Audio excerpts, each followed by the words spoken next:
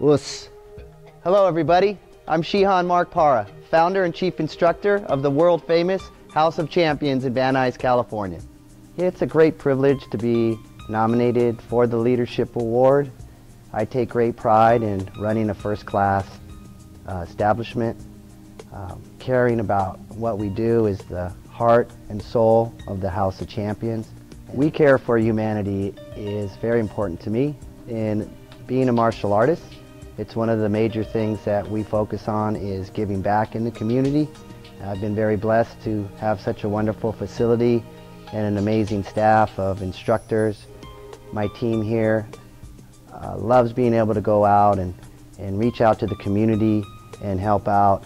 Uh, Maria Amor and her We Care for Humanity Foundation uh, works hand in hand with the martial arts community. Being nominated for leadership in the first annual GOD Awards is a privilege and an honor and something that I look forward to.